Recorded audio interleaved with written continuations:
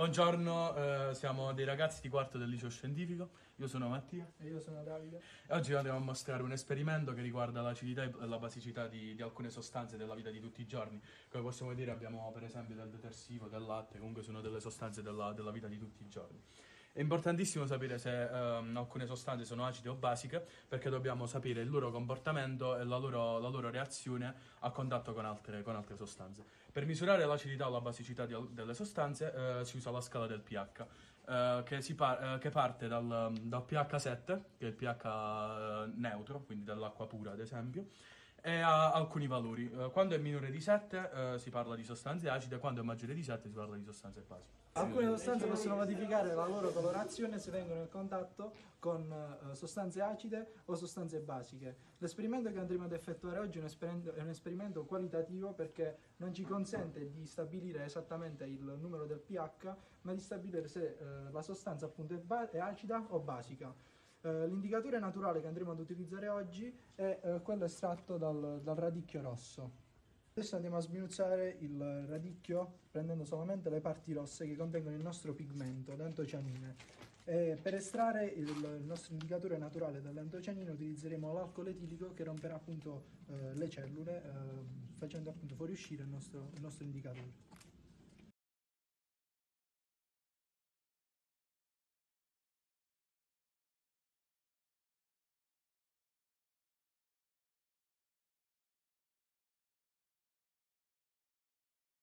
Dopo aver estratto il nostro indicatore, andiamo- passiamo quindi alla fase del filtraggio. Utilizzeremo un filtro di ceramica che tratterà in, super- eh, tratterà in superficie eh, le, eh, le le parti solide e quindi fa- permetterà quindi di, eh, versare all'interno del nostro becker solamente l'indicatore.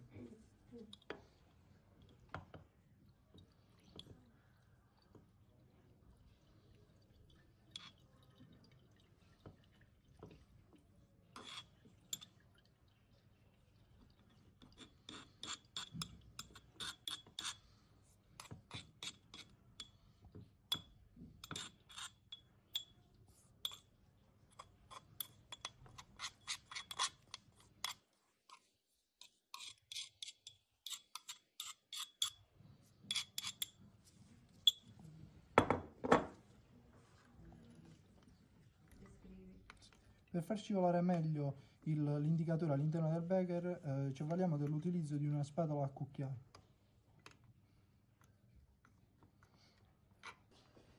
Adesso abbiamo ottenuto il nostro indicatore e quindi possiamo procedere eh, con l'inizio del, del nostro esperimento. Partiamo col versare del detersivo all'interno di di queste provette, abbiamo diversi- diverse sostanze, qui c'è il detersivo, abbiamo della candeggina, del vino bianco, del sapone neutro, del succo di mela, poi qui abbiamo del latte, aceto, bicarbonato di sodio, eh, zucchero e limone, succo di limone. Quindi partiamo con, un, eh, con del detersivo, andiamo a versare un po' all'interno della provetta.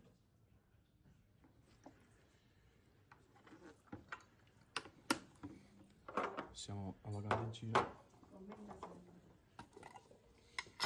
Qui eh, abbiamo l'ausilio di una, di una pivetta. Andiamo a versare sempre due dita all'interno di questa provetta.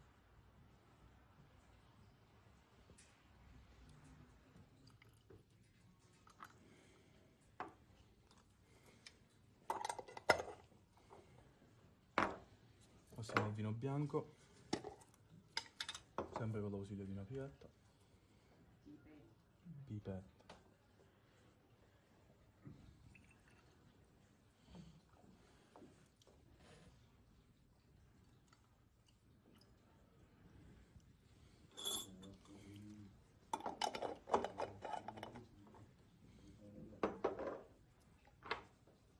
Sapone neutro.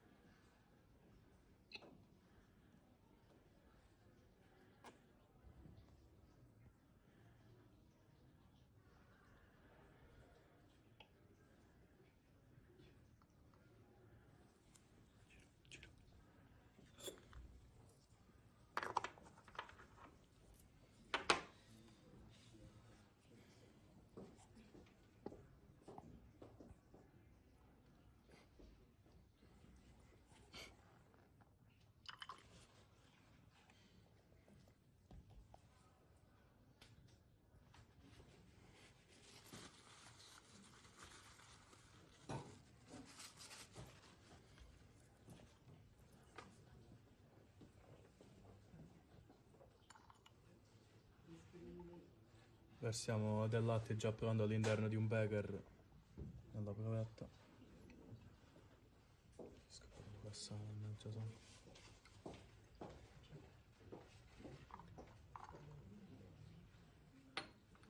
Poi qui abbiamo dell'aceto, facciamo la stessa cosa.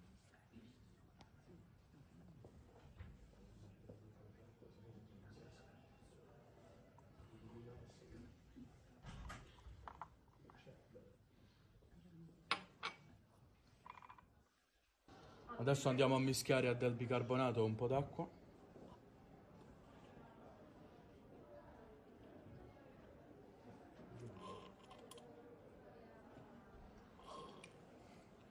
E per mischiarlo usiamo una bacchetta di vetro.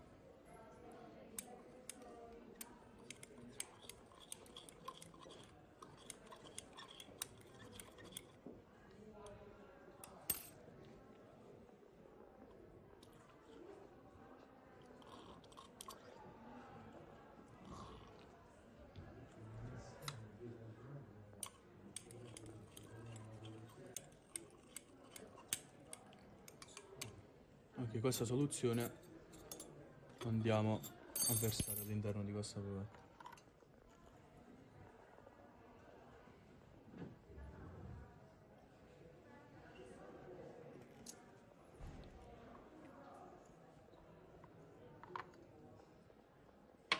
Adesso con lo zucchero andiamo a fare esattamente la stessa cosa.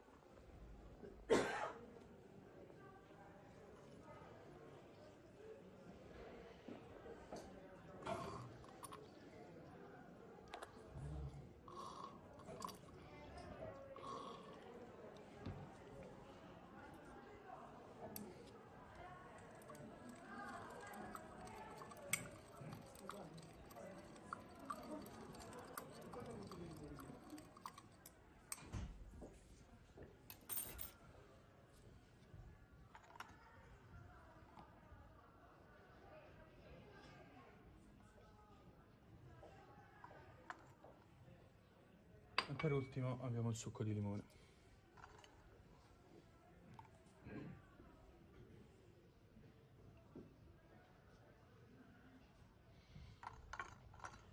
Ok, una volta preparate tutte queste sostanze all'interno di queste provette, usiamo, eh, usiamo dell'idrossido di sodio e dell'acido cloridrico, che sappiamo essere due sostanze rispettivamente basica e acida.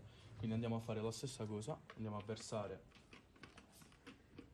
prima dell'idrossido di sodio all'interno di questa provetta e successivamente dell'acido cloridrico all'interno di quest'altra.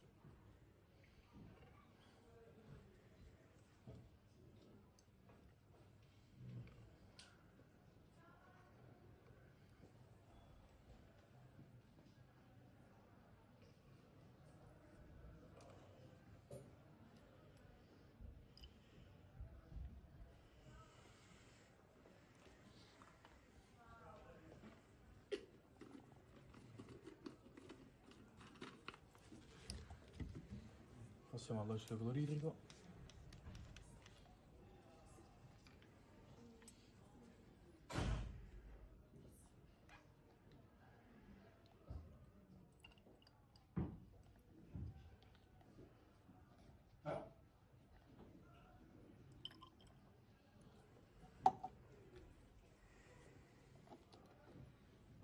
Possiamo proseguire dunque eh, versando sempre attraverso l'utilizzo di una pipetta il nostro indicatore all'interno delle provette contenenti le sostanze precedentemente elencate. Partiamo quindi.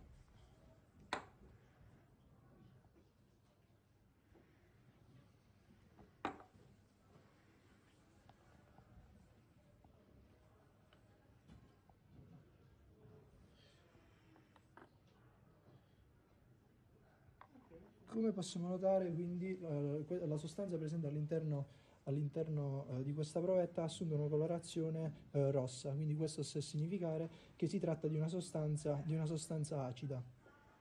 Al contrario, invece, per una sostanza basica la colorazione sarà tendente al verde o al, al blu.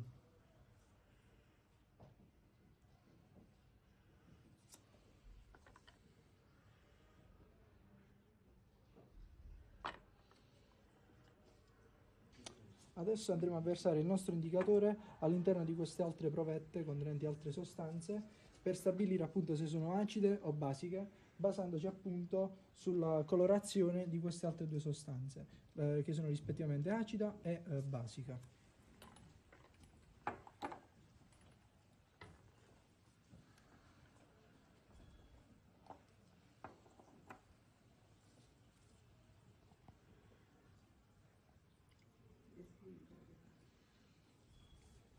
本店連続通信番組です。福井国民じゃないです。